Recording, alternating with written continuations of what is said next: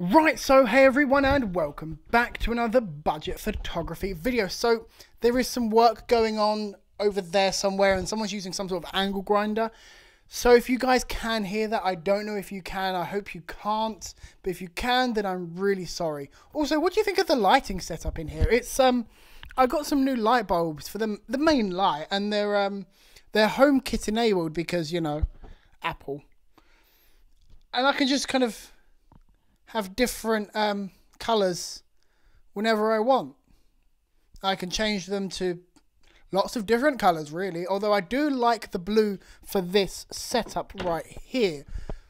I do think it looks quite good. Kind of a bluey white background. Anyway, I don't know how long this will stay like this. So enjoy it if you do. If you don't like it, well, wait for the next one. Anyway, moving on to the main purpose of this video is, well, you can you can see from the from from from from the title, yeah, I left Adobe fully. I cancelled the subscription and I brought new software. I'm now using Lumia, Luma, Lumia, I don't know. AI. It is amazing. I've done a video on it previously where I said I might move, but there were a few things that I'll get into in a second that were stopping me and they're now not stopping me. So, what are the problems with Adobe? God, there are there are a lot of problems with Adobe. First off, you know, it is really annoying that that um, angle grinder is really fucking annoying me. I wonder if it adds any more light if I... Nah, there's...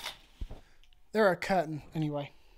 Well, first of all, there's the cost. I was paying about 25 to 30 pounds a month, which isn't a lot, but after a little while it does kind of add up and it's it's it's a lot of money it really is after so long you know 20 quid is yeah fair enough it's pretty cheap for, on a month by month basis but that is not what I wanted. I didn't want to have to keep paying for a subscription. Then there are the Adobe Creative Cloud apps, whatever they're called. And it is a group of apps that you have to have to be able to use the main apps. So if I want to use Photoshop, I have to have the Creative Cloud apps there on my laptop. Why? Now, I'm sure there is a fairly good reason for it, but I don't know, and I don't really want to know. I don't care. To me, it is just bloatware, bloatware, bloatware that I don't want and I don't need. And then there's the RAM. Now, I have a low end machine because that's what I wanted. I wanted a low end machine. I didn't want anything too expensive and I didn't want anything with a lot of RAM, which sounds weird, but just go with it. I've got the 8 gigabytes of RAM and Adobe products run through an app called Rosetta. I will give it to Adobe, they do run really, really well, but if I'm just color grading an image, I'm using five or six gigabytes of RAM. Five or six gigs. In some cases, I'm using more gigs than I actually have. And that's called, I think it's called something like RAM swapping or something, where it uses the SSD as RAM. And I don't want that. I don't want it to do that. Now, it is perfectly fine for a SSD to do that. It can do that a fair few times. That's fine. But it can degrade your SSD in the long term. Not now, in about 10 years or so. If you keep doing it. So every now and then, you, you're okay. You're not really going to face any problems. Now, as I said, it does run well through Rosetta. It does. It really, really does run well. Everything works smoothly. It it just works. The whole Apple, you know, it just works like magic kind of thing. Every everything's fine. It's there's no laggy issues or anything like that. It works fine, but it uses an awful lot of RAM. Now, you're probably going, "Oh, well, editing pictures does use a lot of RAM." Yeah, it does. It it really does. I I understand that, but not that amount of RAM that Lightroom is using.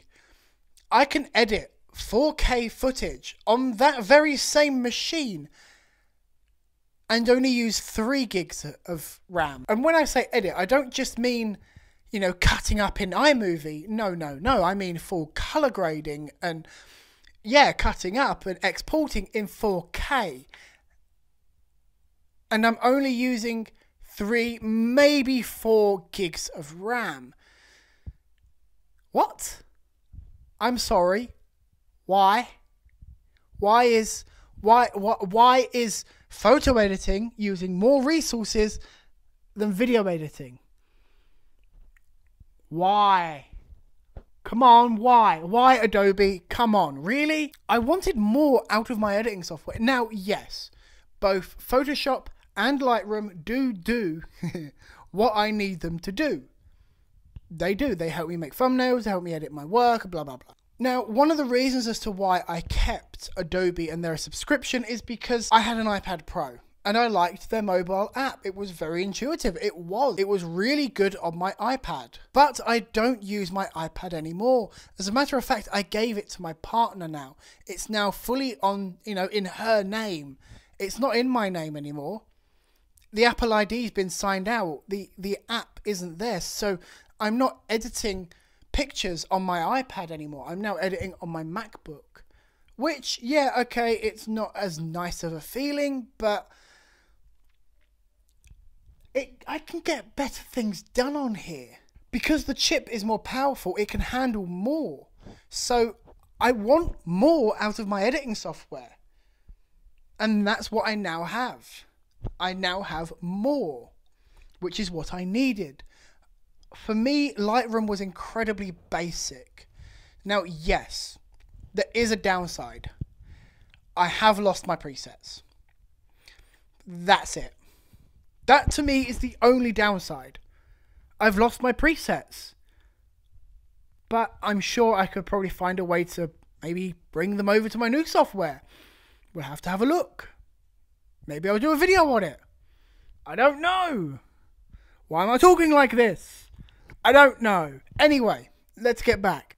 I just wanted more out of my editing software than what Adobe currently offers. And I wanted it in one place. I didn't want to have to send it from one app to another and then send it back to the first app and then put it into this app and then maybe do that and I just want I just want it to do what I want it to do. That's it. That's it. Anyway guys, thanks for joining me in this video. I'll see you in the next one. Also, my hair, I haven't brushed my hair properly today and I kind of so I meant to, I meant to have stopped recording, but I kind of fit there. Look. oh. Look, I can I can go into the corner. Can I go into? No, no. Let's go to this one. Let's go to this one. Um, let's just. Can I do it? Yep. God, I have no life. Just kind of like a mohawk. Just. I'm gonna, I need to get a haircut. Anyway, I need to go. Thanks for joining me in this video. I'll, I'll, I'll see you in the next one. I'll, I'll just, just